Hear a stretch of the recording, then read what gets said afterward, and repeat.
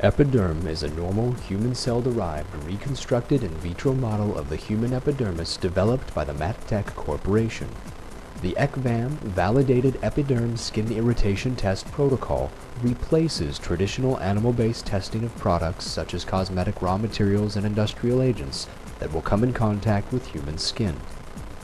This test begins on day zero when the skin irritation kit and epiderm tissue arrives in the lab and is subsequently preconditioned in assay medium. Following an overnight incubation on day 1, the apical surface of the epiderm tissue is exposed for one hour with a putative irritant compound, and then the irritant is removed with a washing step. On day 2, after a 24-hour incubation, the culture insert is placed in fresh media and the old media can be used for analysis of released cytokines and chemokines. The tissue is reacted with a compound known as MTT, which is converted by mitochondrial reductases to a dark purple formazan salt, providing a readout for cell viability. A lack of dark purple color in the sample is an indicator of decreased viability, and when the colorimetric readout for a test compound is less than 50% of negative controls, the test compound can be classified as an irritant. Hi, I'm Helena Kandarova from MatTek Corporation. Today we will show you procedure for in vitro skin irritation testing using reconstructed human skin model epiderm. This procedure, depending on regulatory requirements, can be used as full or partial replacement of in vivo rabbit skin irritation test.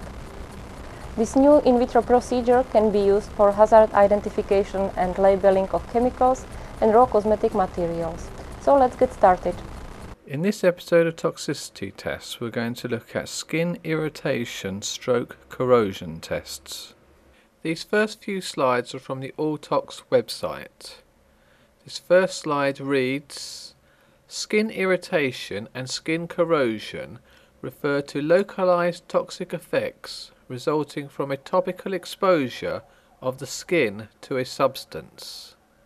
The second paragraph reads, The globally harmonized system of classification and labeling of chemicals defines skin irritation as the production of reversible damage to the skin following the application of a test substance for up to four hours, and defines skin corrosion as the production of irreversible damage to the skin, namely visible necrosis through the epidermis and into the dermis, following the application of a test substance for up to four hours. So these tests are obviously acute toxicity tests rather than chronic toxicity tests. This second slide describes the animal tests. It reads, a test substance is applied to the shaved bare skin about 6 centimeters squared of healthy young adult albino rabbits and the area is covered with gauze. It is the OECD test guideline TG404 acute dermal irritation corrosion test which is sometimes known as the Draize rabbit skin irritation corrosion test. One point to briefly dwell on before we take a look at the actual OECD test is the fourth sentence of this slide. It reads, the GHS, which is the globally harmonized system, reports that animal skin irritation and corrosion responses are quite variable.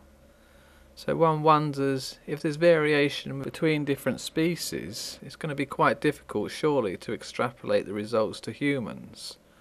Anyway, that's just a thought. This is the first page of the OECD guideline for the testing of acute dermal irritation corrosion. It's test 404.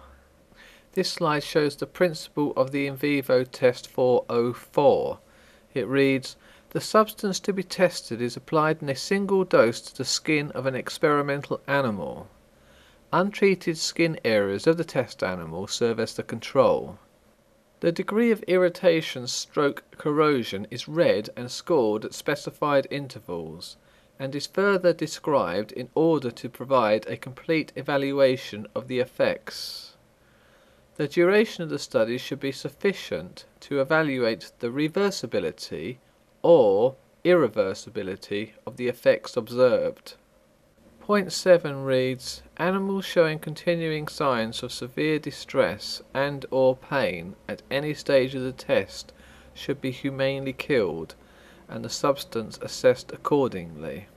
The reality is that any substance that causes irreversible damage to the skin is obviously going to cause a lot of pain and distress to the animal. So I feel that they've just put that in to make themselves sound a little bit more humane and compassionate than they actually are.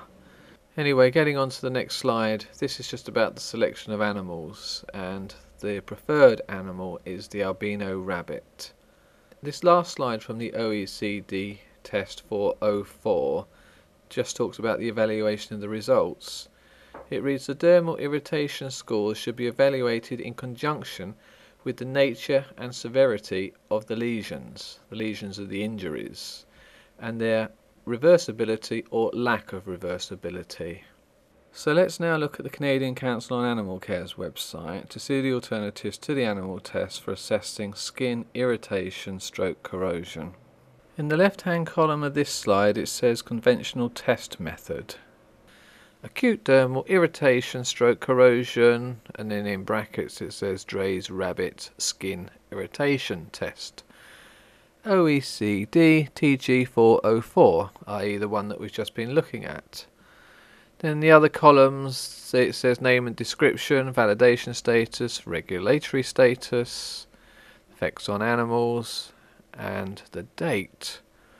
So if we look here we can see that for skin irritation there are two alternative tests. One's called EpiSkin and one's called EpiDerm. Um, they've both been validated, endorsed as valid by the European Centre for the Validation of Alternative Methods. And obviously it's the one, two, three, four, fifth column effect or potential effect on animal use that we are most interested in.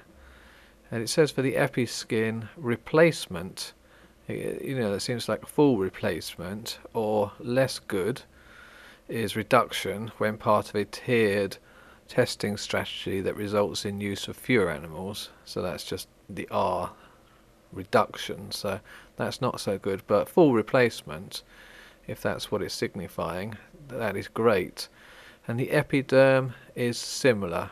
It says replacement or reduction.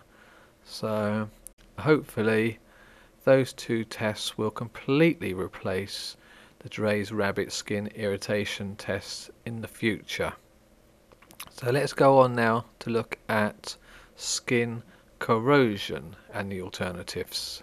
So this first test for the replacement of skin corrosion tests with rabbits is called Corrositex and it enables the replacement for testing of acid and bases which is at least a start.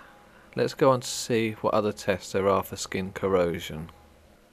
This test called transcutaneous electrical resistance test in vitro skin corrosion is not really a full animal replacement test because it uses a killed rat even though the rat is not going to have to endure a live experiment which is why they call this ex vivo instead of in vivo. That's the name that they give to that kind of test. Anyway obviously it is better than being experimented on while you're still alive. However, it's not really what we're looking for in the animal rights community. Anyway, it says reduction. Skin from one rat may be used to test up to five chemicals. And then it's regarded as a refinement because it says it uses killed instead of live animals. This slide shows the human skin model test, EpiSkin Epiderm and SkinEthic. So there's three companies there with three different tests, which have all been validated, endorsed as valid by European Centre for the Validation of Alternative Methods, and the US has also validated these tests. Uh, let's have a look. It says in the EU it's a full replacement test, so that is fantastic. In America it's a reduction test. It says substances identified as corrosive will not progress to animal tests.